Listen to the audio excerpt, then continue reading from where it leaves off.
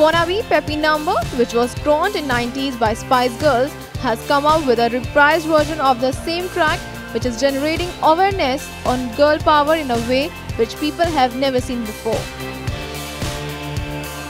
Celebs from India, Nigeria, South Africa, UK, US and Canada are rocking to the Spice Girls wannabe hit to tell the world what global girls really, really want.